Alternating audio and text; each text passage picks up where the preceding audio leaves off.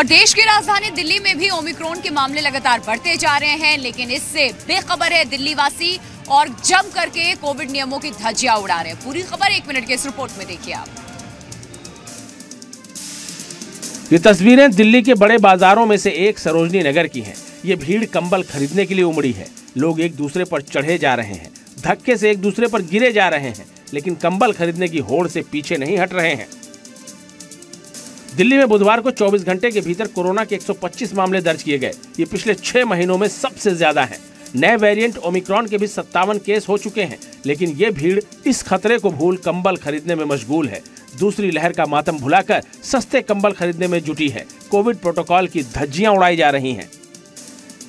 इन तस्वीरों के सामने आने और कोरोना के ओमिक्रॉन वेरिएंट के बढ़ते मामलों के बीच दिल्ली सरकार ने क्रिसमस और न्यू ईयर सेलिब्रेशन पर रोक लगा दी है। बार और सिनेमा घर भी 50 प्रतिशत कैपेसिटी के साथ ही खुल सकेंगे। इसके अलावा भीड़ के इकट्ठा होने और सांस्कृतिक कार्यक्रमों के आयोजनों पर भी रोक लगा दी गई है। दिल्ली पुलिस और प्रशासन को निर्देश दिया गया है कि इन आदेशों का सख्ती से पालन करवाया जाए। Bureau report, Zee Media.